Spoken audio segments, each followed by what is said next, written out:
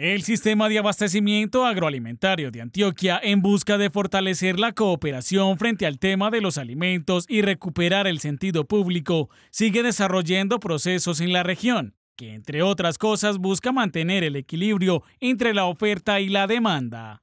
El SABA entonces es un programa donde la gobernación de Antioquia quiere eh, articular actores para que se genere más equidad, que los campesinos, quienes más invierten en su producción, pues reciban un precio más justo y que se reduzca tanta intermediación que encarece los precios para los consumidores y finalmente termine deteriorando la calidad de los alimentos para los consumidores. ¿Cuáles son las dificultades que pretende solucionar esta iniciativa? Tal vez esas problemáticas que resuelvan las necesidades y conflictos que puedan existir entre la ruralidad y lo urbano, relacionadas con la producción y la comercialización. La problemática entonces se ve expresada en mayores pérdidas y desperdicios de alimentos, en un producto eh, agrícola y pecuario que está en un precio bastante alto para los consumidores.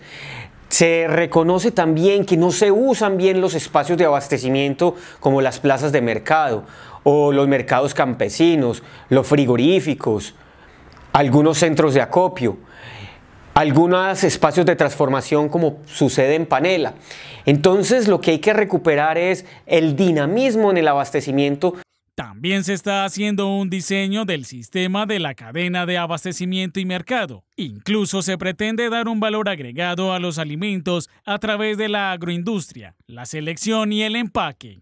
Este convenio que lidera la gobernación de Antioquia propone la creación de un sello de garantía.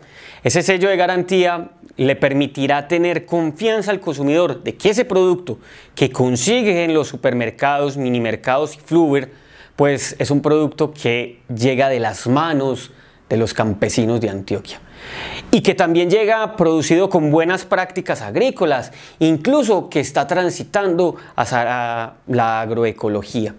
Finalmente se invita a consumir lo local, que tendrá mayores oportunidades y éxito al crear un sello de garantías el reconocimiento por las buenas prácticas agrícolas y por los procesos ambientales sostenibles.